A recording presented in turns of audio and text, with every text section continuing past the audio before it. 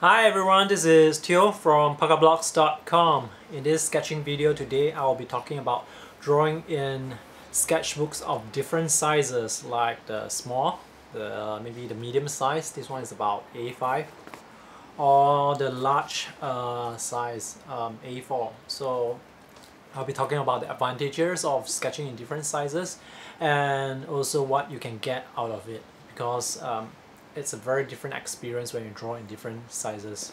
So let's dive right into it. Let me start by saying that I usually draw in loose sheets like uh, the more common size that I sketch in will be uh, 9 by 12 inches. But when it comes to sketchbooks, I like to draw in A5 size. So this is a typical A5 size sketchbook. This particular one is from Stillman and Birn Alpha. So A5 sketchbook is a very nice uh, compact size that you, it's quite convenient to bring around. Uh, when it comes to drawing and putting details in, you can have enough space to actually put your drawings as well as, as even writing words on it. So I know a lot of artists they like to use uh, sketchbooks for journaling. So A5 A5 size and above would be very good. Let me just show you some um, drawings. So um, A5 I think is a good size if you want to go abstract like minimalism or if you want to add in details you can do so as well like if you want to add windows to buildings huge buildings you can well draw in the small windows if you want to. So this is the normal size um, general purpose sketchbook. So and then I started using the smaller sketchbook. And when it comes to using a small sketchbook okay let me zoom in closer. The mentality that you use when you are using a smaller sketchbook is very different from uh, that when you are drawing in a larger sketchbook because the pages are now so small. You cannot afford to draw in a lot of details like for example this sketch of the museum I actually just um, left out a lot of details and just mainly used the bigger shapes uh, just to show you the museum. There are actually a lot of details like the windows have like the window panes and stuff like that. There are a lot maybe there are some people there some cars parked in front also. Those I will use um, I'll have to simplify them. So the idea of using a smaller sketchbook is really to uh, simplify uh, things that you draw uh, for example this sometimes you cannot draw too many things so for this sketch I focused just on one subject, uh, well, a dead bird. Now imagine if you were to draw this dead bird onto a sketchbook that is this size. This is a A4 size sketchbook. It would look a bit strange, I think. I feel it would look a bit strange. Uh, using a sketchbook also uh, means that a sketchbook of this size would also mean that it's not what about it's not about what you can draw uh, what you can include. It's more about what you can take out.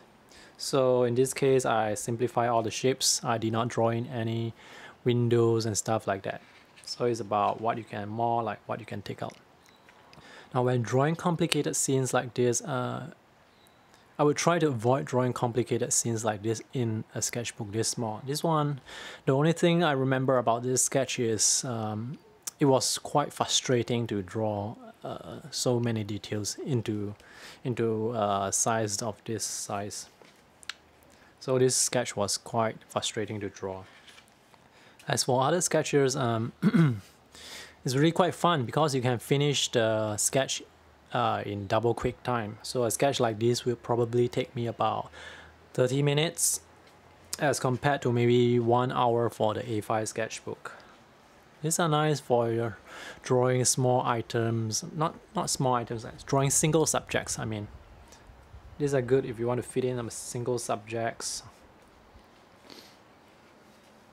And it's good for, uh, say, color studies as well, and for quick color studies. So uh, using the smaller sketchbook is very you think very differently because of the size limitation of the size that you have, the amount of space that you can draw on. Let me show you the A3 sketchbook. This is a sketchbook that I brought uh, to Bali. Now drawing in a large sketchbook you have the luxury of space so you can really fit in a lot of uh, drawings into the sketch, the pages itself. So in this case, this is something that I draw for every one of my sketching trips, the things that I packed. And I can do that in the A5 sketchbook as well, but actually I did it in the A5 sketchbook, I think. Let me show you the difference. Okay, I only managed to draw the pens that I brought. So compare this page and against this page. So this page will have much more information and I can fit all the things that I brought onto these two pages whereas on this smaller sketchbook I have to use several pages to do that. So that's the advantage of having a big sketchbook. You can fit a lot of information into uh, onto the pages. Let me show you uh, some sketches Uh, for a sketch like this, for example, it would be quite uh, difficult to draw in a smaller sketchbook. Uh, but when you have the space, uh, you can draw in a lot of little details, and I think all those details make the scene more lively. Especially you want to convey a a busy scene with a lot of things that people can see. It also makes uh, your viewer uh, look at the artwork longer because there there are more things to see. And of course, because the sketchbook is bigger and you can draw in a lot of things. For example, if I were to draw this in maybe a smaller sketchbook, I would probably not uh, use so many lines to mark out all the details. So in this case, I can, and this turned out to be a pretty uh, detailed sketch, relatively speaking. Let me show you. Uh, this is one of uh, one of the sketch that I like.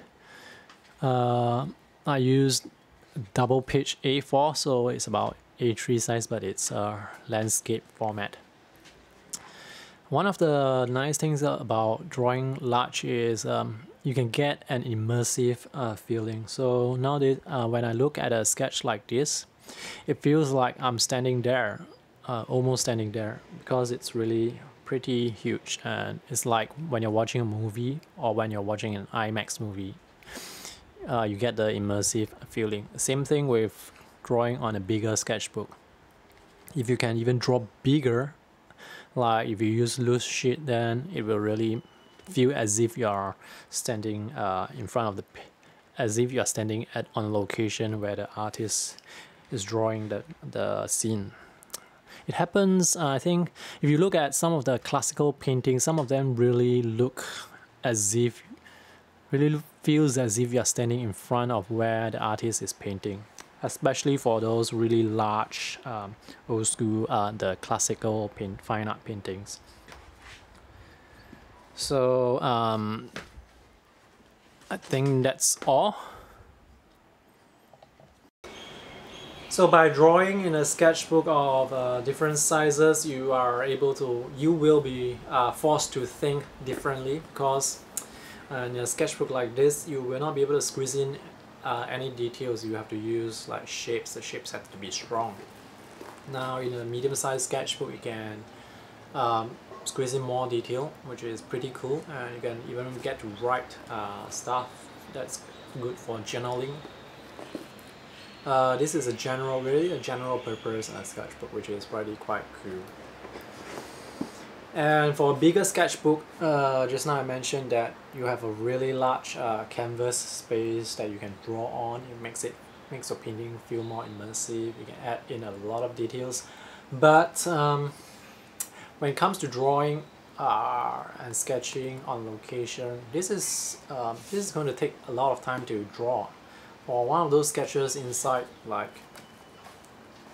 uh, a sketch like this, A sketch like this will probably take me about two hours. A double page spread, uh, like what the like this one.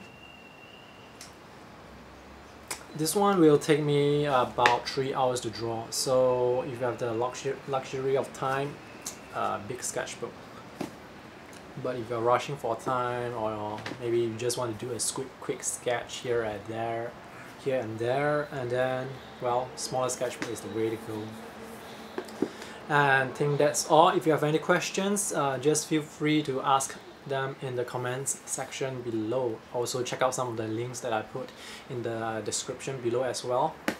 Remember to subscribe to my YouTube channel because I'll be posting more sketching videos and art product reviews. Thank you for watching again and have a nice day.